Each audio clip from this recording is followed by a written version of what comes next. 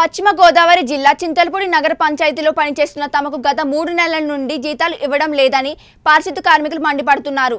Corona క్లిష్ట సమయంలో ప్రాణాలను తెగించి పనిచేసిన తమకు వేతనాలు చెల్లించకపోవడంపై సిపిఐ ఆధ్వర్యంలో నిరసన తెలిపారు.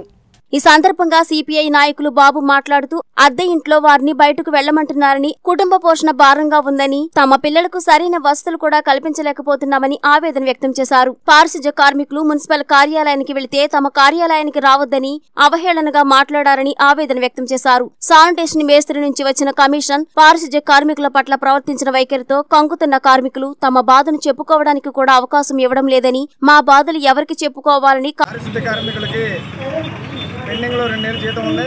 అలాగే ఇది ఒక నెల కలిపి మూడు నెలలు జీతాలు రావాలి. ఆ యొక్క జీతాలని విడుదల చేయాలని చెప్పి ఈరోజు కరోనా కష్టకాలంలో అనేక ఇబ్బందులు పడుతూ పనిచేస్తున్నటువంటి పారిశుద్ధ్య కార్మికులకి పెండింగ్లో ఉన్న జీతాలు ఈ నెల జీతం కలిపి మొత్తం మూడు నెలల జీతం విడుదల చేయాలని డిమాండ్ చేస్తున్నాం. దీనికి జీతాలు వచ్చేంత వరకు బస్సుల వారి ఆందోళన చేస్తారని తెలియపరుస్తున్నాం. రేపు ఆ కమిషనర్ గారికి ఎంత పత్రం ఇవ్వడం జరుగుతుంది. అలాగే ఇరవై తారీఖు ధర్నా ఇరవై ఐదో తారీఖు రాస్తారోకు ఈ నెలాఖరులోపు కనుక జీతాల సమస్య పరిష్కారం కాకపోతే ఒకటో తారీఖు నుంచి మానేస్తామని కూడా రేపు రేపు ఉదయం కమిషనర్ గారికి వింతపత్రం ఇవ్వడం జరుగుతుందని చెప్పి తెలియపరుస్తున్నాం. మూడో నెల జరుగుతుంది. మూడు రెండు నెలల నుంచి మేము ఇంటర్లు కట్టకపోతే ఇల్లు ఖాళీ చేయమంటున్నారు. మరి కొత్తగా వచ్చిన సారేమో జీతాలకు ఇంకో నెల పట్టిద్ది అంటున్నారు.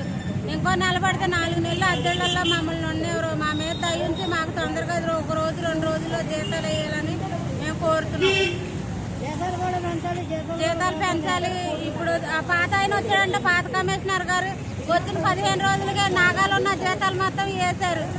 ఒక నెల కూడా నాగా లేకోకుండా ఏ నెలకు ఆ నెల ఒక నెల ఆగినా రెండో నెలలో మాకు డబ్బులు పడినాయి.